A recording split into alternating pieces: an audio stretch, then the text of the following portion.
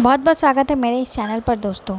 तो प्रेगनेंसी में ज़्यादा भूख लगना या कम भूख लगना? कई महिलाओं को प्रेगनेंसी में बहुत ज़्यादा भूख लगती है, वो हर एक एक घंटे या दो दो घंटे पर वो कुछ ना कुछ खाते रहती हैं। वहीं कई महिलाओं को भूख कम लगती है, उनको खाने का बिल्कुल भी मन नहीं होता है क्रेविंग्स कम होती हैं इसके पीछे बहुत सारे लोग बहुत सारी बातें करते हैं कि ऐसे कुछ जो सिंबल्स होते हैं सिम्टम्स होते हैं, उससे कुछ इंडिकेशन होता है कि गर्भवती महिला को क्या होने वाला है।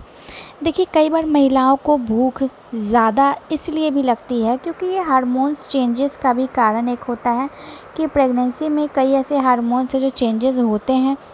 दूसरा कारण ये होता है भूख ज़्यादा लगने का, क्योंकि वो स्ट्रेस फ्री है बिल्कुल। वो ज़्यादा स्ट्रेस नहीं लेती हैं, काफ़ी हेल्दी लाइफ जीती हैं और अपने डाइट पर ज़्यादा ध्यान देती हैं। उनको पता है कि उनको अभी न्यूट्रिशन की ज़रूरत है।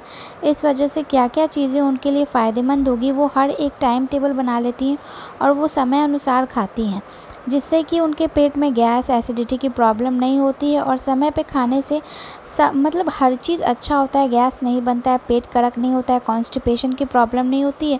इस वजह से उनका जो भूख का टाइमिंग है वो बिल्कुल एक्यूरेट है और उस वजह से उनको भूख अच्छे से लगती है। हर दो दो घंटे या तीन तीन घंटे पर वो ज़रूर से ज़रूर कुछ ना कुछ खाती हैं। तो ये काफ़ी अच्छा होता है प्रेगनेंसी में, इससे बेबी की ग्रोथ और डेवलपमेंट भी अच्छी होती है।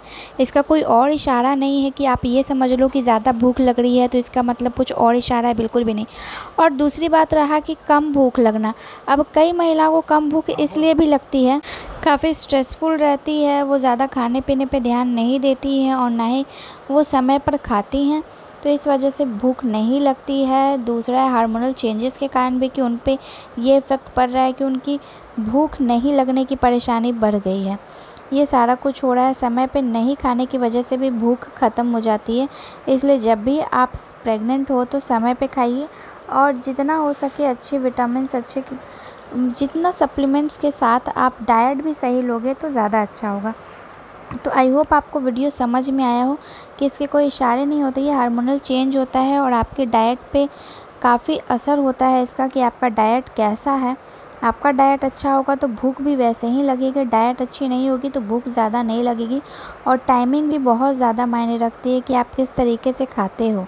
और कुछ ऐसी बातें नहीं है कि अगर आपने प्रेगनेंसी में सुनी है, कई महिलाओं से एक्सपीरियंस महिलाओं से कि भूख ज़्यादा या कम लगने से कुछ और इंडिकेशन या इशारा या संकेत होता है तो बिल्कुल भी नहीं, ऐसा कुछ नहीं है।